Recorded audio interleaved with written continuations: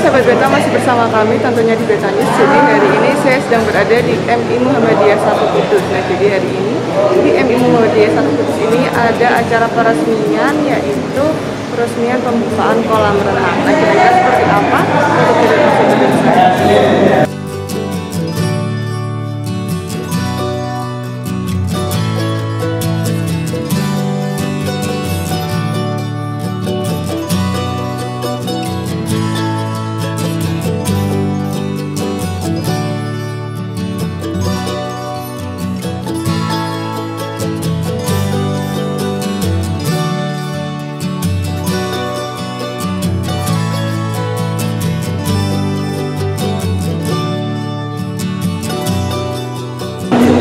wali kelas. Kalau misalnya kelasnya renang wali kelas wajib nyemplung. Kecuali kalau ada wajib nyemplung. Jadi jadi insya Allah eh, insya Allah. Tidak digunakan kemarin. iya sudah digunakan kira-kira awal November. Jadi sudah satu bulan ini dan alhamdulillah uh, sudah menghasilkan.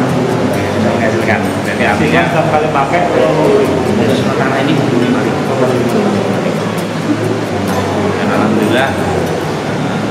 uh, hitung-hitung kemarin hitung netnya satu bulan sudah lumayan. Lima ribu itu berapa jam karena ya sak kuatnya anak.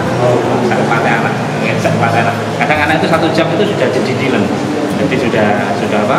Sudah tidak kuat. Kadang ada yang sore. Pagi. Sementara untuk pagi karena masih ikut di jadwal jadwal pagi.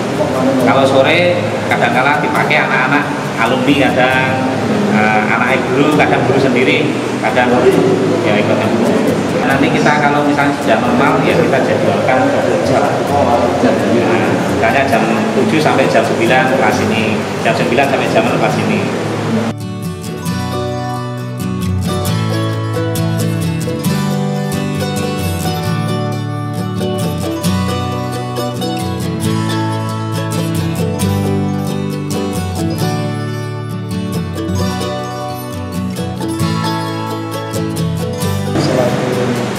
Kudus saya sangat mengapresiasi upaya yang dilakukan oleh para MUI Muhammadiyah Satu Kudus.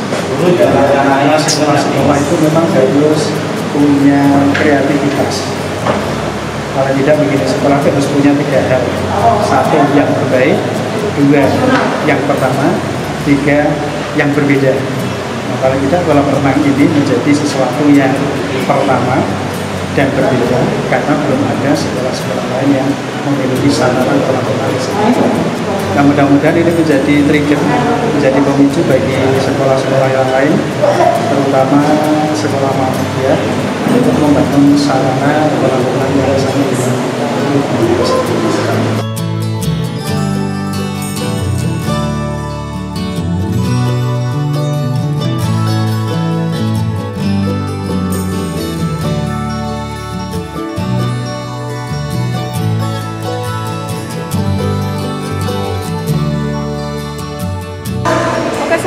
jadi itu dia liputan saya mengenai peresmian kolam renang di MI Muhammadiyah 1. Nah jadi hari ini uh, sudah diresmikan dan nantinya akan dijadikan sebagai tempat ekstrakurikuler uh, renang dan nantinya ini bisa untuk menjadikan uh, menumbuhkan bibit-bibit atlet renang pastinya. Nah, semoga liputan kali ini bisa bermanfaat untuk Beta semuanya. Jangan lupa like, komen, dan subscribe karena kami akan selalu memberikan 再次的